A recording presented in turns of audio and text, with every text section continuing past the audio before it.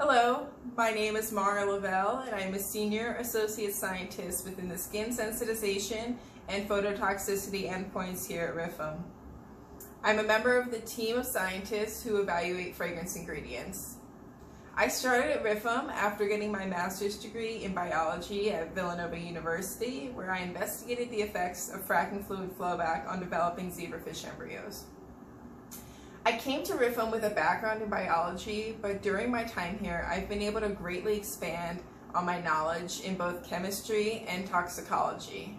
That's what I really enjoy about working at RIFM. I feel like there's always something new to learn due to our emphasis on collaboration, both within RIFM and with outside organizations. I'm looking forward to hanging out and seeing what's on RIFM's horizon at our 2020 annual meeting on September 17th. Go to rifm.org for more information and to sign up. I hope to see you there.